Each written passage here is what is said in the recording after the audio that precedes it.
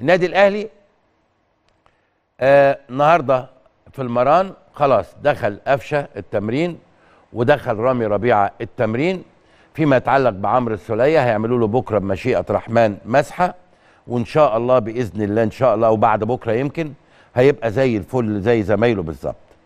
آه آه موسيماني عمل محاضرة فنية لمدة 40 دقيقة قبل ما ينطلق مران النادي الأهلي بيتكلم عن مباراة وادي دجلة، مباراة وادي دجلة يوم الجمعة مباراة مش سهلة على النادي الأهلي، وادي دجلة بيلعب كورة منظمة وكورة هم حافظينها وبيتمرنوا عليها من مدارس الكورة والناشئين والشباب والكلام ده كله.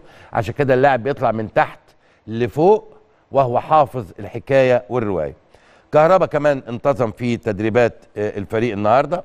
بعد ما كان غايب امبارح عشان نزلة البرد وعملوا له مسحة بالمناسبة لأنه أي نزلة برد دلوقتي بيخشى إن هي تبقى كورونا وطلعت الحمد لله سلبية وما عندوش أي مشكلة. طاهر محمد طاهر دخل جلسة استشفائية في الجيم لأنه عنده طبعا كدمة شديدة في منطقة الضلوع ولسه قدامه يعني خمس ست أيام لغاية لما يرجع التدريبات.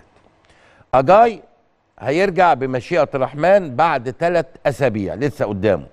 كان عنده إصابة في الكاحل الجزء اللي هو فوق الكعب ده صعب قوي كان تعرض ليها في نهائي دوري أبطال إفريقيا أمام الزمالك لو تفتكروا. أما جيرالدو فهينتظم في التدريبات خلال 10 أيام وبراحته جيرالدو بالذات براحته